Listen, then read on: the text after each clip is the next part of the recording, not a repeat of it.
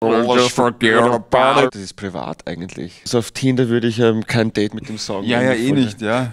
Das ist, das, da freut man sich, wenn es wieder vorbei ist. Moin zusammen und äh, moin Wanda. Manu und Christian sind bei uns. Hallo. Hallo. Wir wollen ein kleines Spiel zusammenspielen und zwar Song-Tindern. Das Prinzip von Tinder ist euch bekannt, kennt ihr? So haben wir uns kennengelernt. Witzig, es hat schon mal eine Band genauso gesagt. App, oder? Wir spielen es aber nicht mit Personen, sondern mit Songs. Und ich würde euch bitten, wenn ihr einen Song mögt, den ich euch gleich vorspiele, dann wischt ihn gerne auf das grüne Herz. Das befindet sich hier. Und wenn ihr den Song nicht mögt, ab damit auf das rote X. Ich bin extrem krantig heute. Dann fangen wir an mit dem ersten Song. Das ist der hier.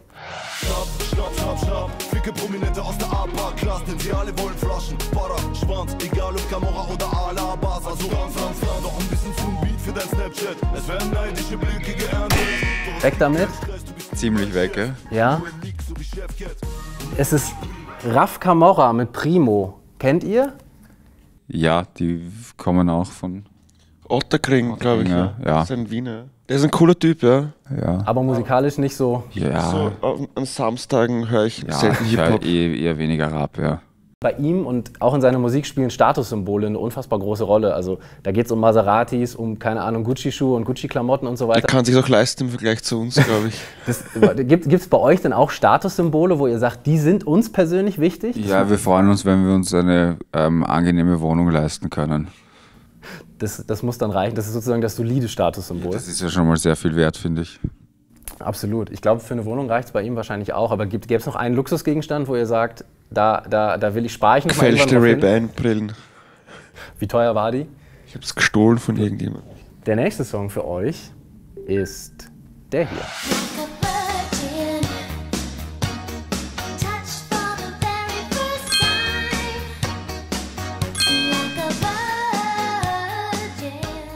Madonna, Ja. Like a Virgin. Ah, ich habe jetzt geglaubt, das ist Michael Jackson.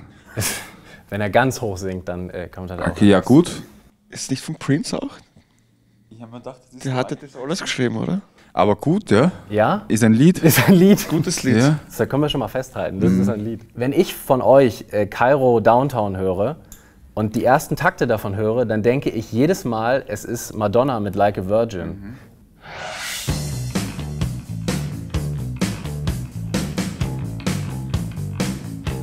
es ist nicht genauso, aber ich denke es doch jedes Mal. Ja, ja, ja. ja. Jetzt ist die Frage, Bisschen Billie Jean vielleicht noch und dann ja, wer hat auf dem Hinweg äh, ins Studio äh, Madonna äh, und Like a Virgin gehört und hat es vielleicht sich inspirieren lassen für diesen Basslauf am Anfang? Äh, Bass. Von wem haben wir denn das ähm, gekauft, das Lied? Von irgendeinem 80er Jahre nicht. Studioproduzenten Ja, ja. anscheinend, ja. Ja. Es war auf jeden Fall teuer, für das, das ist echt kein Hit. War das nicht von William Talent? Ich weiß Ich nicht. glaube, das war der Wilhelm Talent. Kann sein. Locken, Lock, Locken. Halten wir fest. Äh, Madonna mögt ihr auf jeden Fall schon mal. Dann äh, gucken, was ihr zu dem Song hier sagt.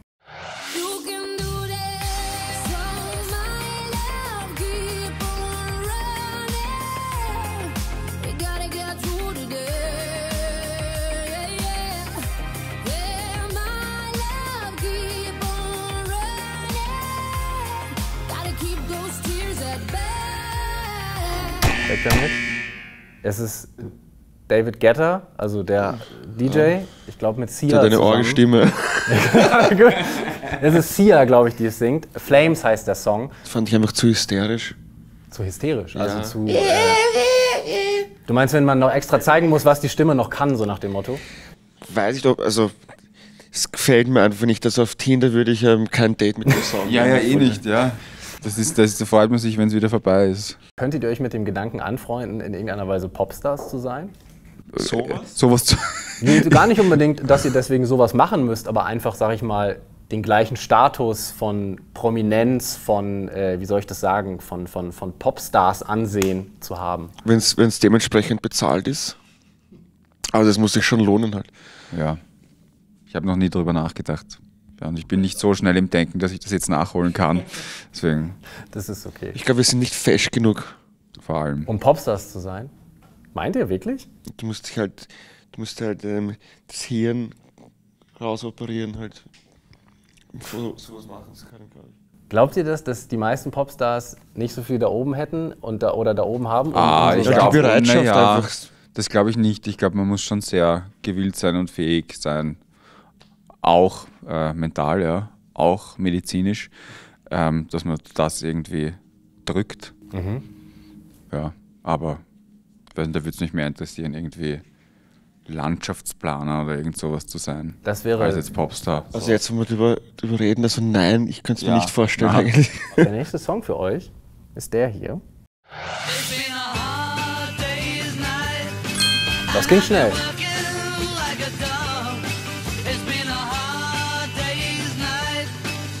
Die Beatles, logischerweise.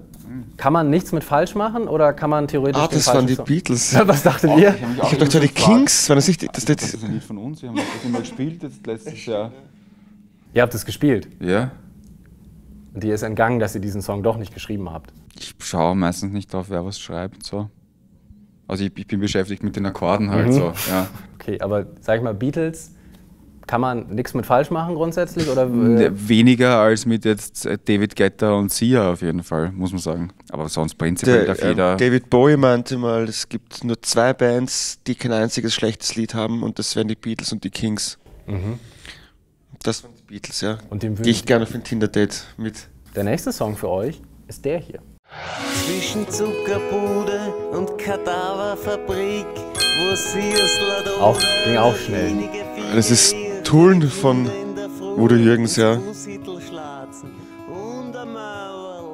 Ihr habt ihn äh, als, als Supportband äh, auch, auch dabei gehabt bei euren Konzerten. Nach welchen Kriterien sucht ihr jemanden aus, der bei euch mitspielen soll, Freunde, in erster? Linie ein Freund. Und ähm, macht wir schätzen Musik. auch sehr ja. seine Musik. Ja. Das sind einfach gute Lieder. Ähm, Das sind gute Geschichtenerzähler, von, Ja. bei, bei Tullen zum Beispiel. Ähm, spannend ist sehr schön, so es hat irgendwie halt, so hat halt was Echtes einfach. seine Jugend, wie er aufgewachsen ist. Einen habe ich noch für euch und das ist dieser Song. Come my lady, come, come my lady, you're my butterfly, sugar, baby. Come my lady, come, come my lady, you're my butterfly. Das ist Kennt ihr es noch? Halt ein, ja, aber das, Ein Herz? Also, ähm, also vor 15 Jahren lief das irgendwie auf und runter. Da war da, damals war es ein bisschen so nervig schon, weil es halt ständig lief. Aber das, ähm, das ähm, Gitarrenriff ist von den Red Hot Chili Peppers und deswegen Kühnes Herz. Es war, war Crazy Town mit Ja. Butterfly, also klassisches One-Hit-Wonder eigentlich. Und das war eine, ähm, ich glaube, eine Demo-Version von, von den 80er-Song von den Chili Peppers, das sie ihnen geschenkt haben oder ka- äh, War ein ganz verkauft, gutes weiß ich nicht. Ja. Ich war. Gibt es bei euch jemanden im Tourbus oder wenn ihr euch irgendwo trefft auf einer Party oder so, der dann immer irgendwann anfängt, selbst aufzulegen und Musik aufzulegen und dann auch mal solche Dinger dazwischen hat? So, sag ich mal, Songs, die irgendwie existieren und die irgendwie auch ganz cool sind? Das ist halt schon was, das ist privat eigentlich. Das, ja, also das ist so Songs, die kein Mensch sonst hören darf. wir haben einmal gehört vom, vom Santana, ist, ähm, wie heißt's? Samba Badia. Nein, nein, nein. Smooth, Smooth, ja. Criminal. Just like a Nee, Criminal. Just forget about it. war hängen geblieben. Den haben wir, da haben wir dann alle mitgesungen auf einmal. Das war lustig, ja. Also das wäre so ein Song, der catcht dann doch. Genau, aber es ist halt auch einfach ein gutes Lied, ja.